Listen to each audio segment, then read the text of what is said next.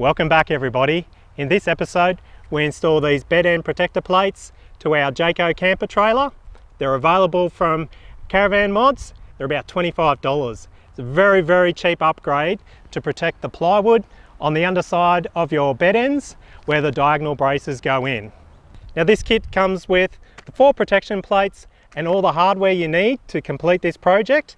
You simply drill out the existing Jayco rivets, you keep the brackets, you put the bolts in from the top side of the bed and the nuts and the washers go on with the protection plates and the bracket. And what it does is it stops the diagonal braces from scratching and carving out the plywood on the bottom of your slide out bed ends. It should be a very quick and easy modification to do. Come along as I show you how.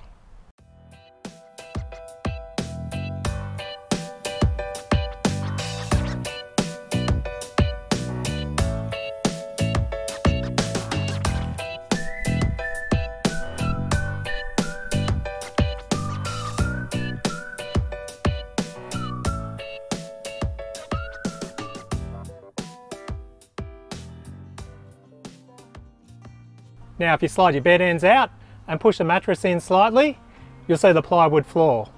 So as discussed, the kit comes with four stainless steel discs, the associated hardware, a nice simple diagram, and all you need really to install this kit is a drill with a decent sized bit on it so that we can drill out the two rivets on the top side,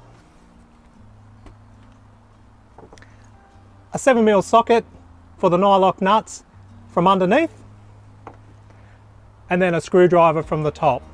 So what we'll do now is we'll drill out these two rivets from the top side, remove the brackets from underneath and then install these discs on the underside of the floor using the bolts inserted from the top and the nylock nuts and washers from underneath. It's literally a 10 minute job and you'll be done.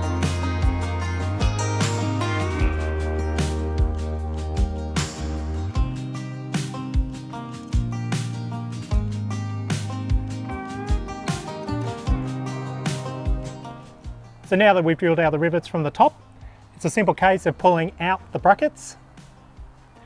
And you'll note that you might need to still remove the rest of the rivet, either by a punch or cutting off or some other means just to loosen it and get it out from the bracket.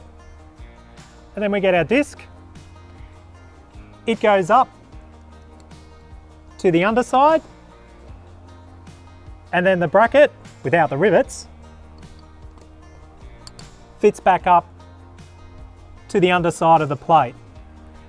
And the whole object of this exercise is to provide some protection to the plywood on the underside of the bed slide, just to stop it getting all scratched up and it makes it a lot easier to slide the support in to this bracket once it's all installed.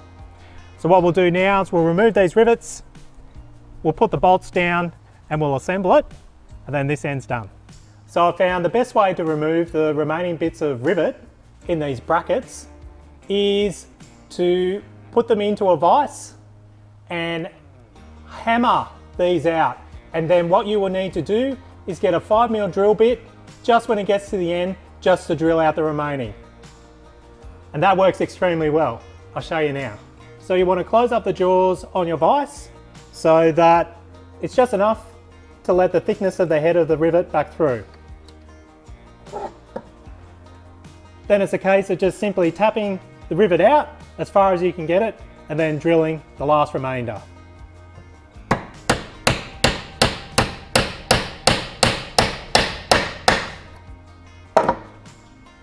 Don't stress when you discover it rounds off the top of the rivet because it's so soft. It's a really tight fit into these brackets. Drilling it out will release the remainder of the rivet.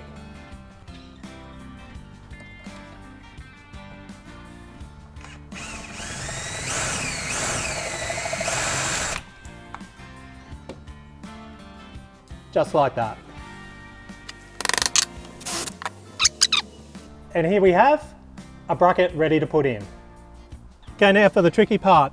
And it might be easier if there's a second person to help you do this. We've got the two bolts in from the top with the oversized washers as per the instructions. You then put the plate in, followed by the original Jayco bracket.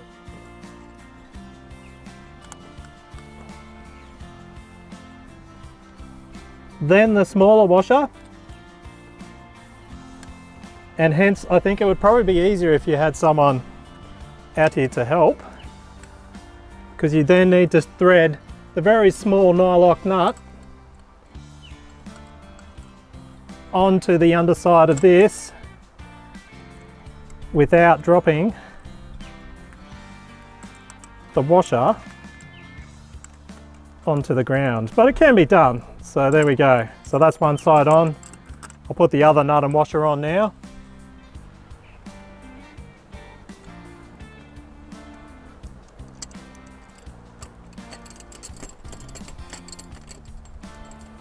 Now you simply put the Phillips head screwdriver onto the head of the bolt from the top side and then get a little 7mm socket and tighten it up from the bottom. Now once you've got the other side in as well, you just want to gently slide the floor in to make sure that the bolts and the nuts aren't going to foul on anything and get caught when you're sliding it in. Just to make sure there's enough clearance, you might want to just gently or very carefully grind the head back just to make sure there's no protrusion hanging down. We'll get these buttoned up now and then do a quick check and then we'll move on to the front.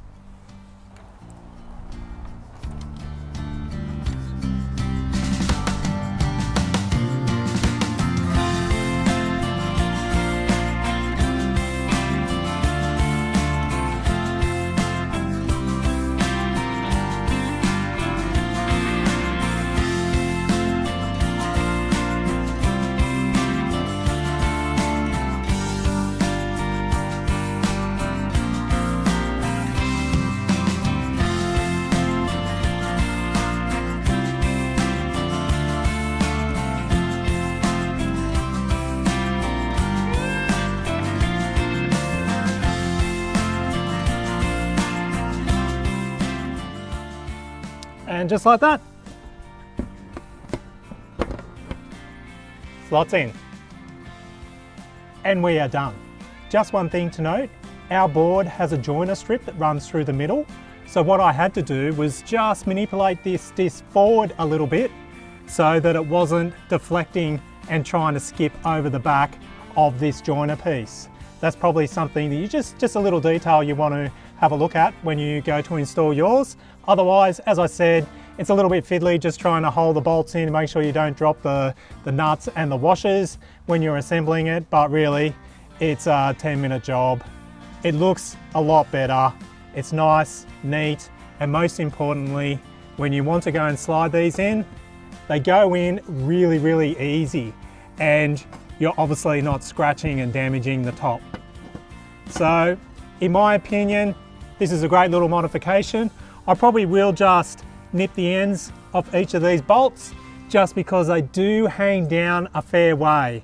So it's probably a good five to six mil. So I might just grind them back a little bit just so that there's no chance of them scraping or scrubbing or rubbing on anything when the camper trailer is being transported or when you're sliding the bed, bed ends in and out. But otherwise, successful job. Give it a go. Very easy to do and it's cheap. It's a, a really quick weekend job. Anyway, thanks for watching. I hope you enjoyed it. We've got heaps more coming up. As I always say, if you like what we're doing, please like, subscribe and share around. But most of all, get out there, have fun and stay safe. Thanks for watching.